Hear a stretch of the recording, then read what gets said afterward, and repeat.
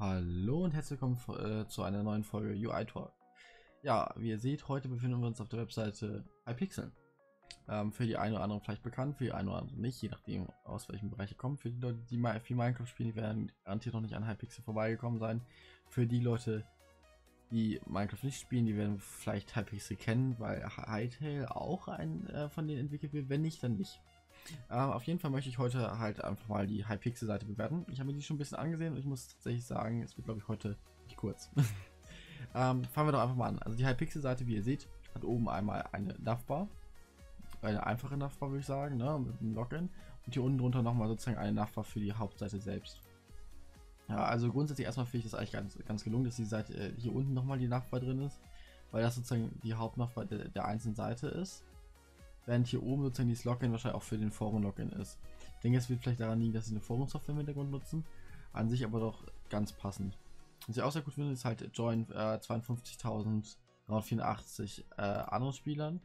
Ich denke, das sind die aktuellen Spielerzahlen. Was mir auffällt, ist, wenn ich jetzt mal die Seite neu lade, seht ihr, das aktualisiert sich jedes Mal erst beim Seitenneuladen. Wird scheinbar auch gecached. Fände ich schön, wenn es mit JavaScript laufen würde. Scheint hier nicht zu sein. Das ist so eine Kleinigkeit, die mir auffällt.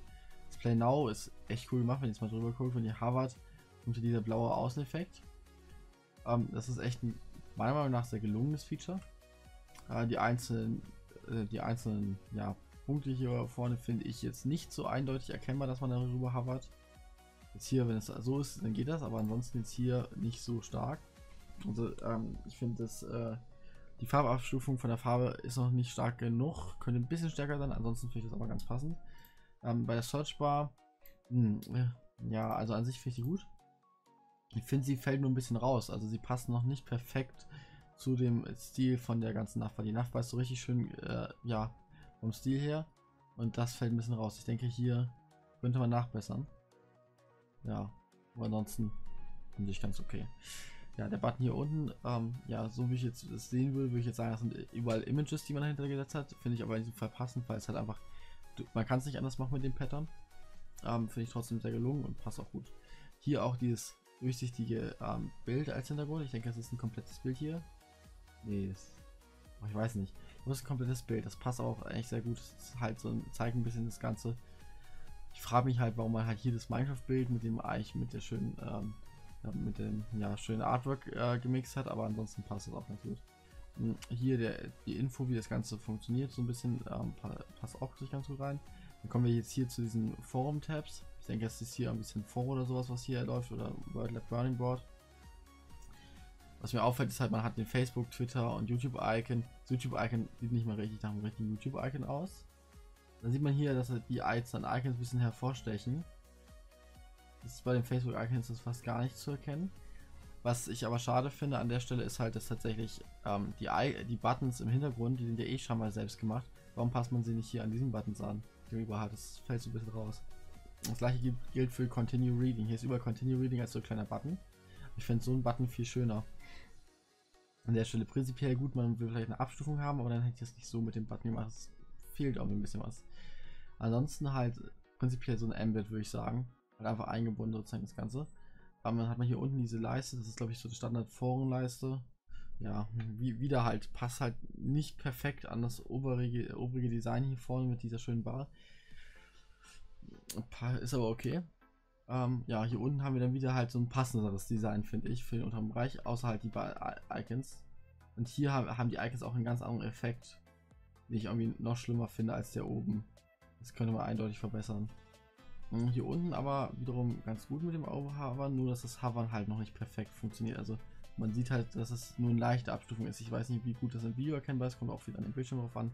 Bei mir erkennt man es zum Beispiel nicht so stark, da könnte ein bisschen mehr noch kommen, ansonsten alles bestens.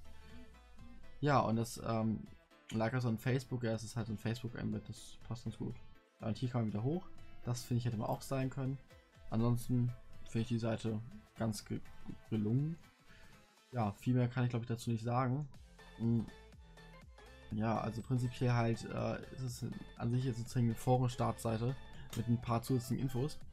Ähm, die wichtigsten Infos finde ich sind da, sind gegeben. Es sieht halt gut gestylt aus.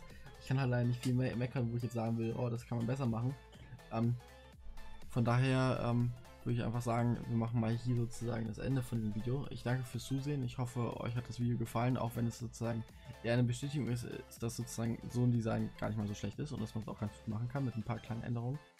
Ähm, ich hoffe, ihr habt trotzdem was gelernt. Wenn ihr einen Videovorschlag habt, schreibt es bitte in die Kommentare. Das Video hier wird jetzt kommen, während ich in meinem Urlaub bin. Ich bin aktuell auf Mauritius. Ähm, das heißt, äh, ich komme erst am 10.8. wieder. Ich weiß nicht, wann dieses Video dann effektiv veröffentlicht wird.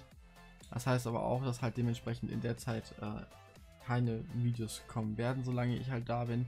Heißt, es kommen nur die Videos sozusagen, die ich schon vorproduziert habe. Ähm, das heißt, nach meinem Urlaub kommen wieder tolle, äh, tolle, spannende Videos und auch garantiert ein paar Aufnahmen aus meinem Urlaub.